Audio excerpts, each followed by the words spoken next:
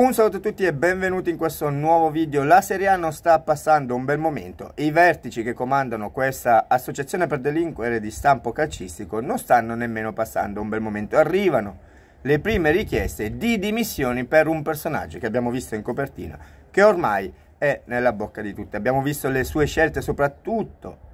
il modo di giustificare determinati errori quando andavano a toccare una squadra e il modo invece di insistere con il fatto che magari l'arbitro in un'altra occasione abbia aiutato una squadra, magari la Juventus, e quindi il rigore non dato al Bologna diventa un rigore solare. Quattro turni di squalifica, lo abbiamo già detto tante volte, per quanto riguarda l'arbitro che arbitrò quella partita senza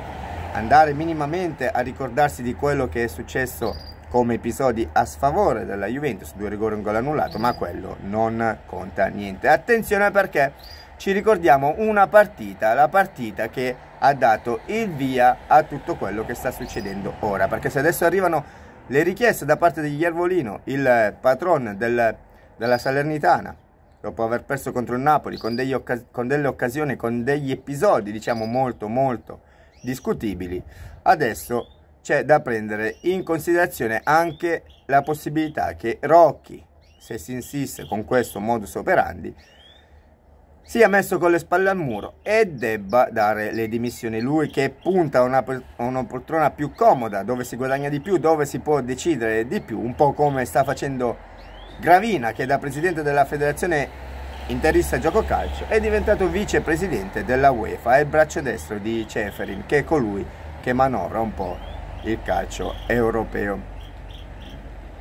Detto questo, andiamo a leggere e a capire effettivamente che cosa è successo per quanto riguarda proprio il, eh, la richiesta da parte di Iervolino? Perché vi ricordate nella partita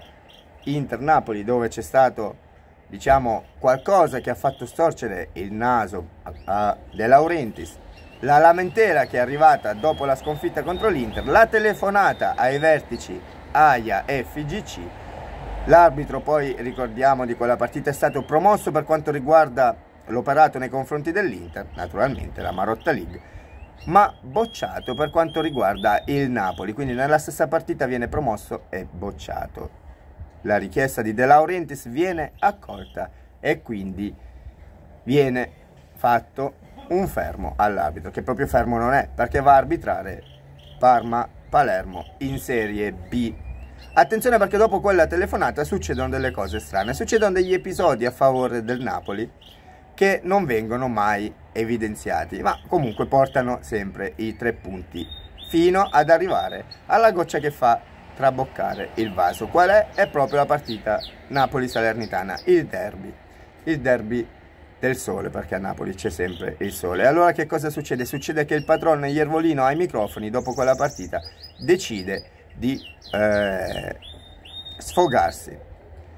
e racconta praticamente il suo pensiero e nel suo pensiero c'è che in questo arbitraggio, in questo modo di arbitrare ci vede anche lui della malafede. Ricordiamo prima di lui ci fu un altro a dire queste parole qua che ricevette e ha ricevuto e adesso ne pagherà le conseguenze una, uh, un richiamo da parte di, del PM Chinè PM Chinè che sa quando si deve muovere e che sa quando deve stare zitto. Ricordiamo anche l'intervista fatta da Sergio Vessicchio dove gli chiede per quanto riguarda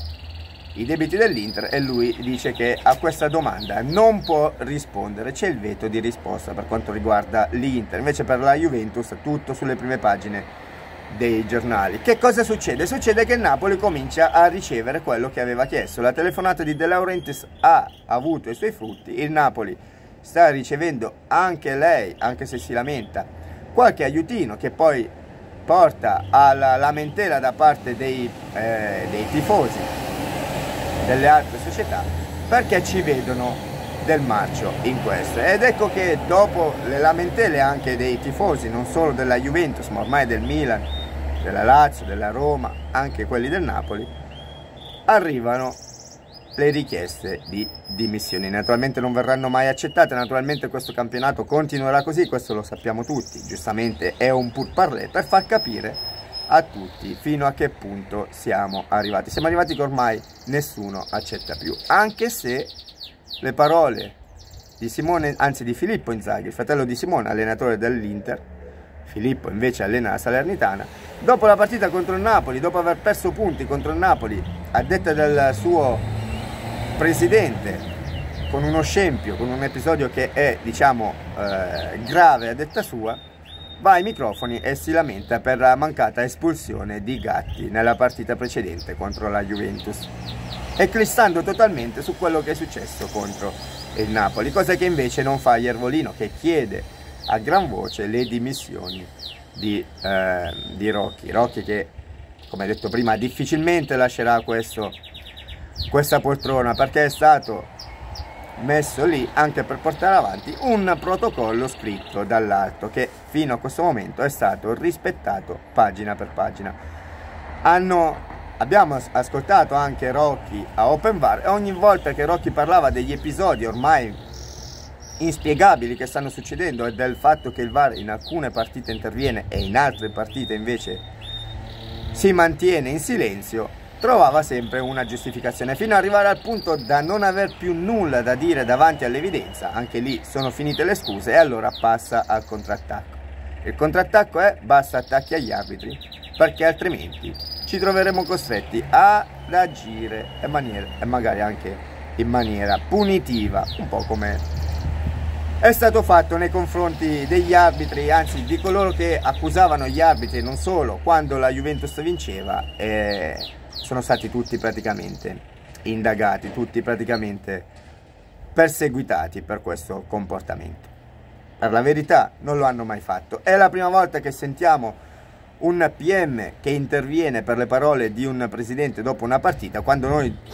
Juventini ne abbiamo sentite di tutti, addirittura abbiamo visto anche presidenti che non facevano eh, scendere in campo per la premiazione di Coppa Italia la squadra dichiarando a tutti i microfoni di essere stati derubati dalla Juventus. Detto questo, che cosa possiamo dire?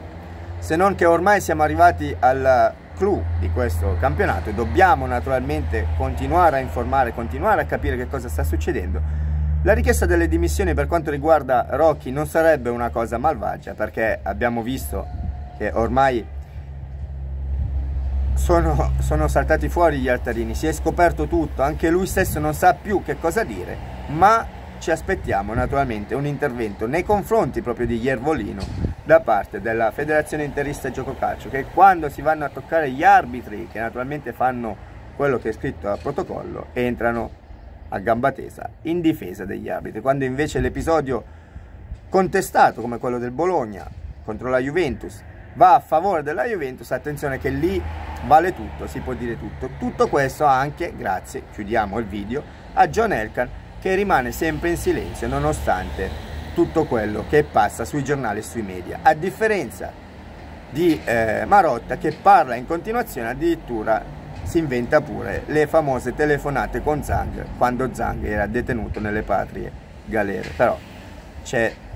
lo stile Juventus che è quello di stare in silenzio e accettare tutto, lo stile dell'Inter è quello del chiagni e forte che praticamente lo abbiamo visto come funziona. La Marotta League ormai è chiara a tutti, Rocchi comincia a tremare no, perché se ne frega del, delle richieste di un piccolo Iervolino che chiede le sue dimissioni, però comincia un pochettino a vedersi i piedini bagnati, arriva l'acqua anche in casa Rocchi perché Ormai è chiaro a tutti che questo campionato, vedendo gli episodi, lo stanno decidendo loro. Detto questo, il video finisce qua, se sei arrivato fino a qua, sei un supereroe, non ti rimane che mettere un bel like e commentare con il tuo pensiero. Condividi a manetta questo video e speriamo che il signore del calcio accolga le preghiere di qualcuno e che in questa associazione per delinquere di stampo calcistico vengano messe delle persone pulite e sane e non dei tifosi che scelgono quando intervenire e come intervenire. Detto questo il video finisce qua, io vi saluto, alla prossima e ciao a io!